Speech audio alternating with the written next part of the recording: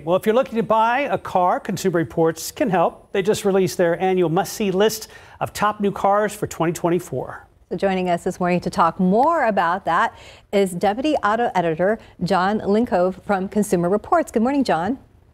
Good morning. Thanks for having me. Thank you, Jon. All right, so let's talk about it. How do you guys figure out how Consumer Reports' annual list of top cars and brands? Certainly. So what we do is we buy every vehicle we purchase just like you would. So we go to the dealer, we make the deal and bring the car in. We put on some 2000 break-in miles. We put it through a battery of 50 subjective and objective tests, and that gives it uh, a road test score. We figure in reliability, we figure in owner satisfaction and, and, safety from the government and insurance industry, and that gives it an overall score. So the vehicles that rise to the top perform well in all those categories. They tend to to gravitate towards the, the top of our top pick list each year. And a big deal for a lot of us, the price. So did price play a role in the rankings and how are 2024 car prices comparing to the peak prices we saw in 2022?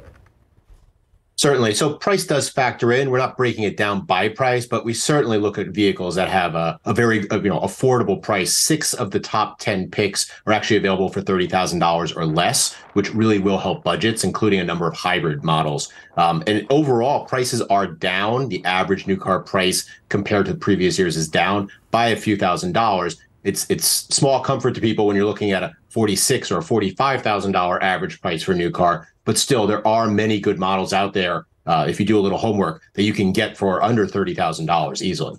Jon, uh, besides pricing, what were your biggest takeaways from this year's results? Well, one of the big things is that hybrid vehicles and electrification in general is really coming on strong. So sales are up in 2023, 11% over the previous year but uh, hybrid sales are up almost 13%. So hybrids aren't the ones like you had maybe five or even 10 years ago where they were expensive. They didn't really give you a lot of fuel economy. Um, you know, they didn't make a good value. Now you can get models that they're, they're easy to drive. They make good fuel economy, 35 miles per gallon in a uh, SUV, uh, up to 40 plus in a sedan but they also are drivable. So you don't have a, a, dog slow vehicle that, you know, you're not really able to be confidently accelerating on a highway, for example. The Toyota Prius, the Toyota Camry, uh, you know, these are vehicles that they have a lot of zip, a lot of pep. So you can get up to 70, 75, 80 miles an hour easily without feeling like you're you know, a rolling roadblock. So that's a big difference with hybrids today compared to the past. And that's a lot to remember. So, do you have any resources to help consumers weigh the pros and cons of all these options, including hybrids and EVs?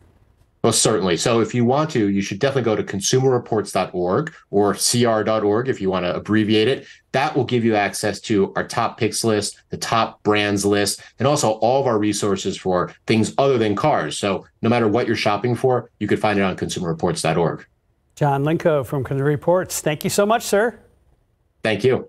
Thank you for watching KSAT 12. If you are on YouTube, you can like and subscribe so you can stay up to date on all the latest news and weather here in San Antonio.